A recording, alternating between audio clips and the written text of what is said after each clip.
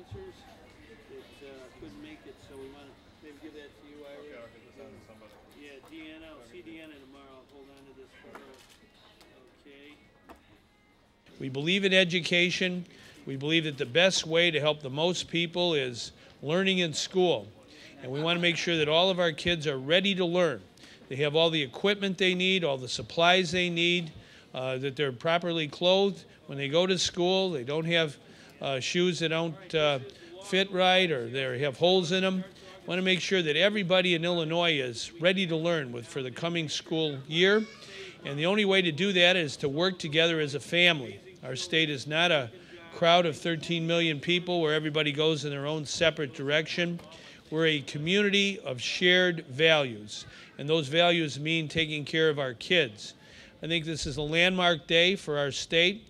It's going to help parents and families all across Illinois save money through a sales tax holiday on school supplies.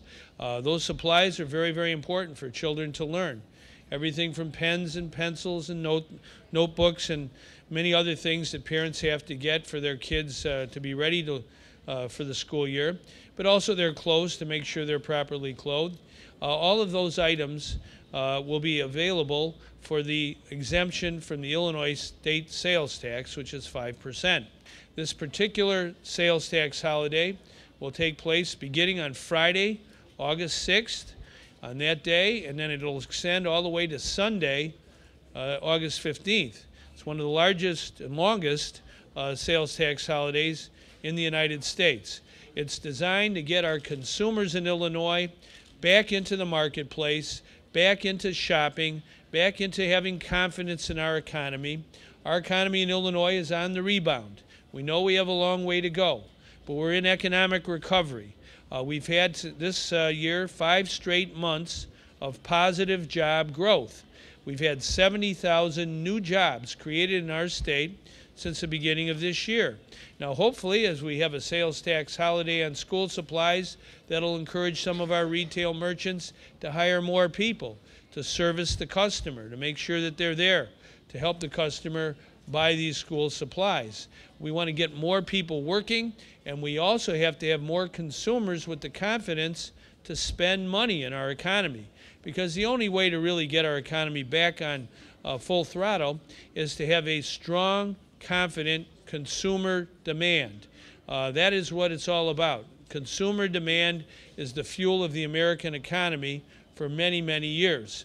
Both consumers and businesses have been crying out for relief during this difficult economic downturn. The road to recovery in Illinois and across this country goes through retailing and its consumers. And Illinois' first ever sales tax holiday will go a long way to aiding these efforts. Illinois is just a little different, as we usually are, in that our holiday is exclusively the elimination of the state sales tax, 5%. So if you're in Chicago, the sales tax on these items will still be 4.75%.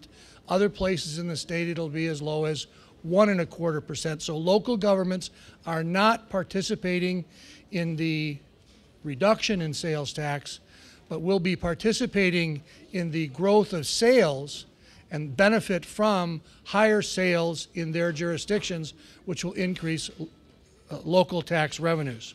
President Kennedy, when I was growing up, said, A rising tide lifts all boats.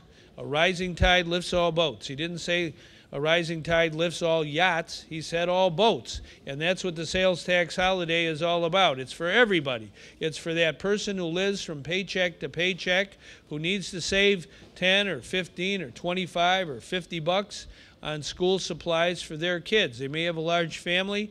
They got to go out and buy a lot of different items for different kids in different classes. Make sure they have the shoes and the uh, pants and the shirt and, and the dresses and whatever they need for school.